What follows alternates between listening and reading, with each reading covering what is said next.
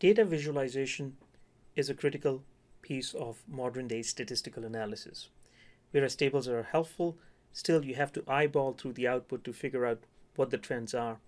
The visual display is much more easily understandable. So using the same data set of teaching evaluations, uh, we asked this question, do instructors teaching single credit courses get higher um, evaluations? And we see that yes, they do. Um, the mean evaluation uh, when plotted as a, as a chart, you see that um, those who teach uh, single credit courses, uh, the average teaching evaluation is slightly higher. Let's look at some other graphics before we attempt to repeat the same in SPSS. In this graphic, you see that we have plotted the mean or average teaching evaluation score for tenured professors and then we have added another gender dimension to it. So green color is males, blue is females.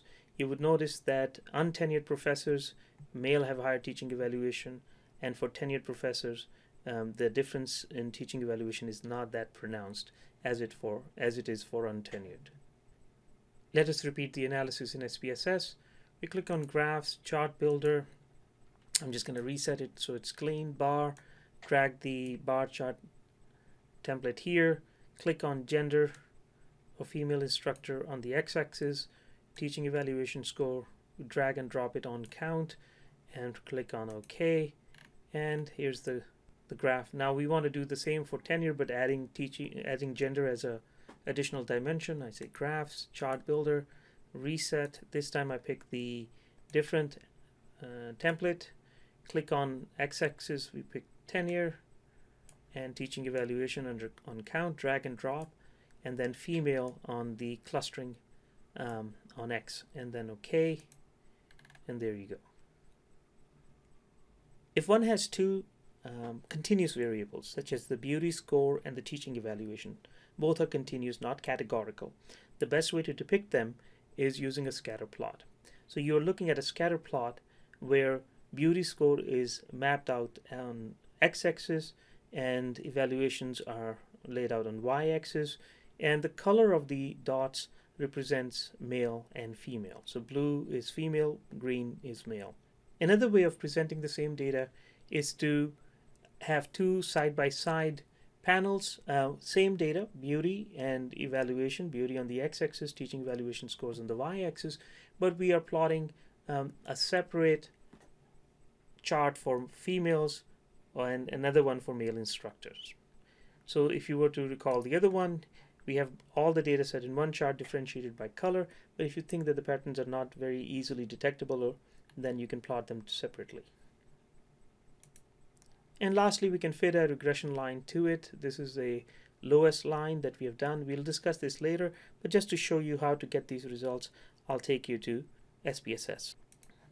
To generate a scatter plot, I click on graphs, chart builder, click on scatter, and pick the second. So first let me reset and then second template.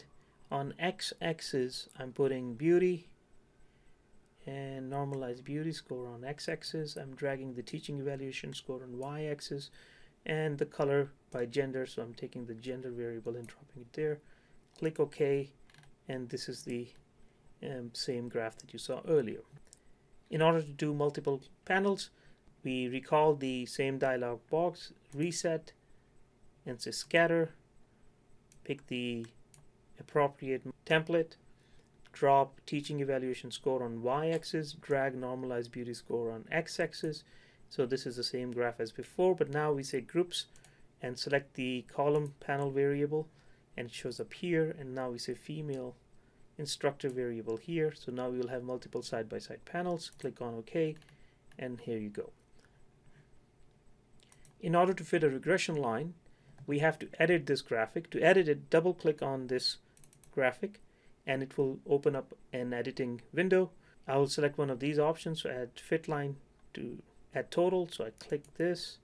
It opens up a dialog box. I select Loess lines, and then um, I can draw these, but I click on lines, pick a color of my liking. So I say line, red color, and I want to make it a little thick. So I say 2, weight is 2, this type of line. Say apply, close this here and then the lines are selected. Notice that it has fit the regression line and added the equation to it, which is not what I intended. So I'm going to double click on it and click on line and go back and say Loess. Now I fit pick the right one. I don't want any labels on it.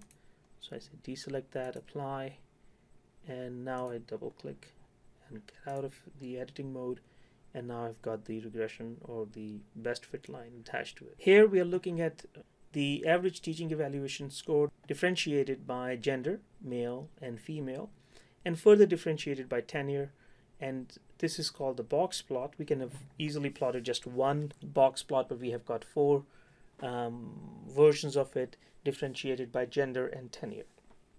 We will explain box plots later, but let's see how we can generate this graphic.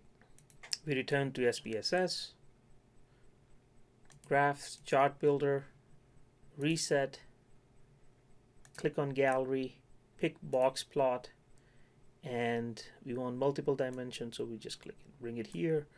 And then on x-axis, we have gender, so female instructor here. And y-axis is the teaching evaluation score.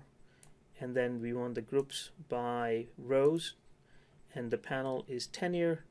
We drag and drop tenure on panel, click OK, our box plot differentiated by tenure and gender.